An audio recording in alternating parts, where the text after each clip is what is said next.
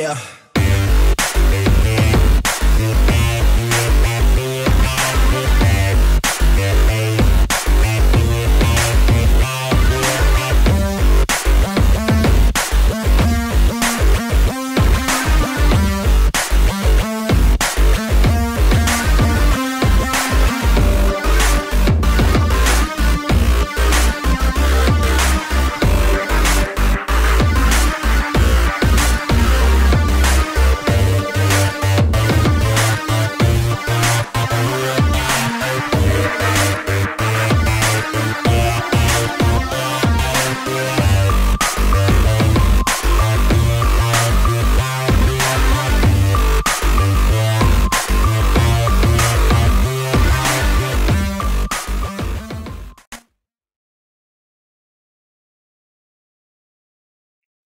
Points a game, several colleges are interested in Cummins.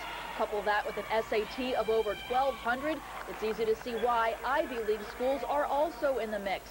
But his work ethic off the court might only be surpassed by his work on it.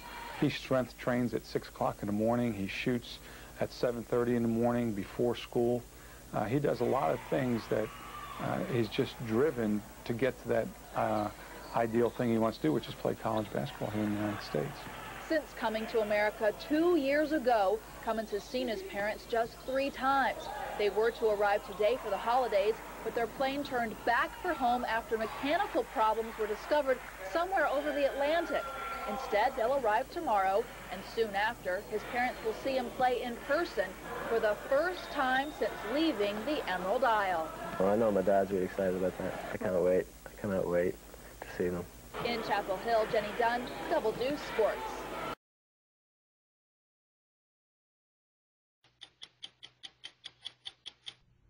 It was not long ago that South Kent School was in deep trouble. Enter the high-flying Cardinals, who migrated here from cities all across America, as well as Ireland, England, and Burkina Faso in West Africa. Together, they have taken the schools.